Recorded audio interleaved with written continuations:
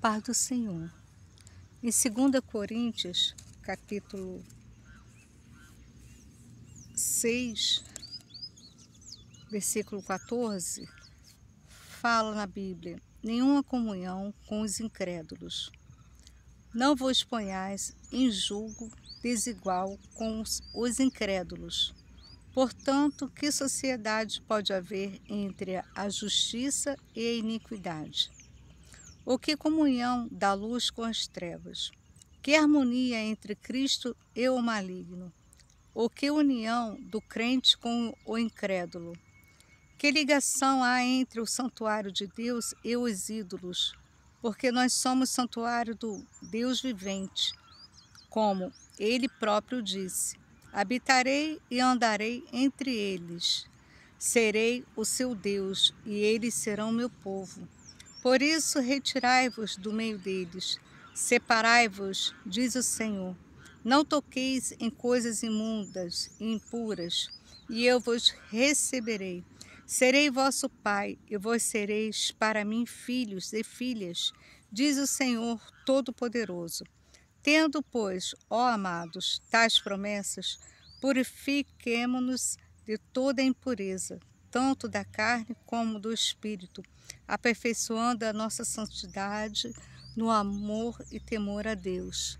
Então o Senhor está falando aqui, incrédulo é aquele que não crê no Senhor, em Deus, é um ateu, é aquele que se volta a ídolos, a, a deuses estranhos, ele prefere se prostrar, ter a fé nele, naquele santuário que não louva ao Senhor para ter benefícios materiais, porque acha que a facilidade é mais fácil do que pedir a Deus e na hora certa Deus abençoar.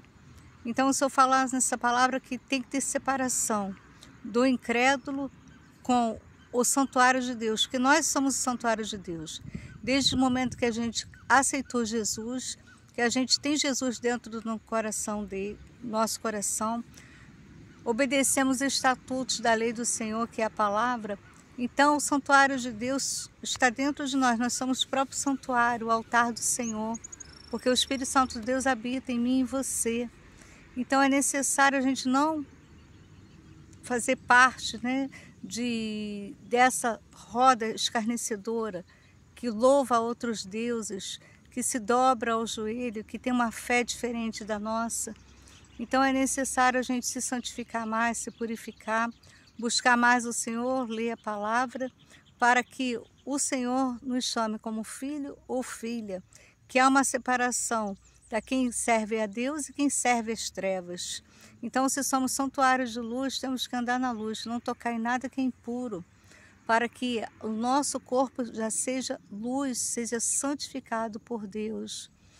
Então, louva ao Senhor, só crê no Senhor teu Deus, porque por mais que possa demorar a promessa, você possa estar passando por alguma dificuldade, alguma provação, mas o Senhor fala na palavra dele, né, em Romanos 8,31, que tudo né, que possa estar acontecendo contigo, se for uma perseguição, se for uma luta, se for um vale, uma dificuldade, o Senhor fala que somos mais que vencedores, porque Deus é por nós, quem será contra nós?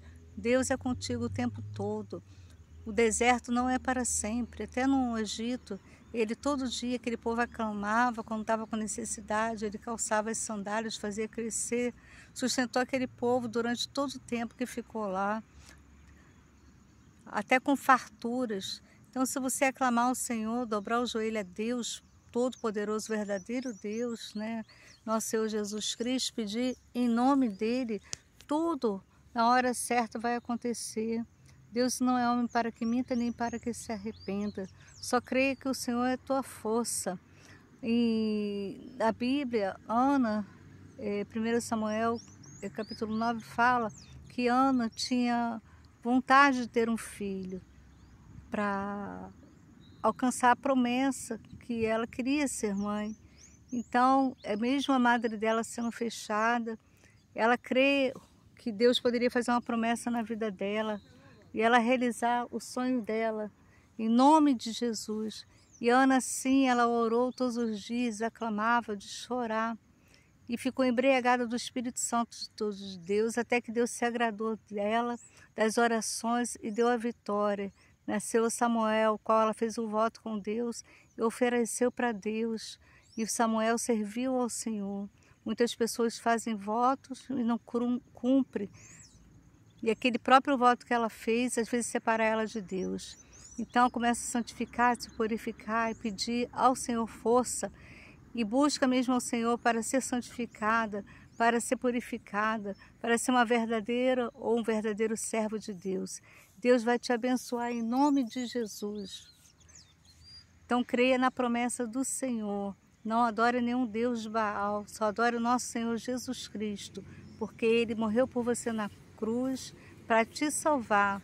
Então Ele quer que você venha se separar para Ele, servir a Ele, porque Ele tem uma promessa de salvação, promessa de dias vindouros, de boas novas, que é a Nova Jerusalém, onde não vai ter choro nem sofrimento, mas tudo lá vai ser sobrenatural, vai ser o, o sobrenatural de Deus sobre a tua vida, o qual Ele escolheu você para estar nesse lugar. Então não deixa o inimigo tirar você do caminho da salvação. Seja luz, não pertence às trevas, se separa para Deus, começa a ter uma vida de oração, de redenção a Deus. Em nome de Jesus, Senhor meu Deus, meu Pai Todo-Poderoso, aí se encontra seu filho e sua filha, às vezes com uma dificuldade, uma fraqueza, mas só tem o poder, Senhor, de tocar neles do alto da cabeça à ponta dos pés revestir com o poder do Espírito Santo de Deus e que nenhuma bruxaria, nem macumbaria, nem feitiçaria, oh, aleluia, tenha poder sobre ele ou sobre ela. Derrama agora o teu fogo do altar, do trono da glória. Vai tirando, vai queimando, vai arrancando todo o mal, todos os espinhos, toda a lepra espiritual, todo o pecado. Aleluia. Passa, Jesus, com as tuas espadas de guerra, fortalece ele, levanta, Senhor, ele com uma coluna forte, ela com uma coluna forte, repreende toda a fúria do inimigo, do adversário, entra com a resposta, entra com o seu mover do Espírito Santo de Deus, todo mal caia por terra, em nome de Jesus Cristo, receba a luz na alma, no espiritual, se fortalece com o poder do Espírito Santo de Deus, todo mal tem que sair, sai da mente, sai do coração, sai da saúde, sai espírito de enfermidade, solta agora o corpo dele ou dela, que haja cura na alma, cura na saúde, em nome de Jesus, seja livre de todo mal, seja abençoado ou abençoada, em nome de Jesus, que todo mal já bate retirado agora, em nome de Jesus. Jesus te ama. Amém.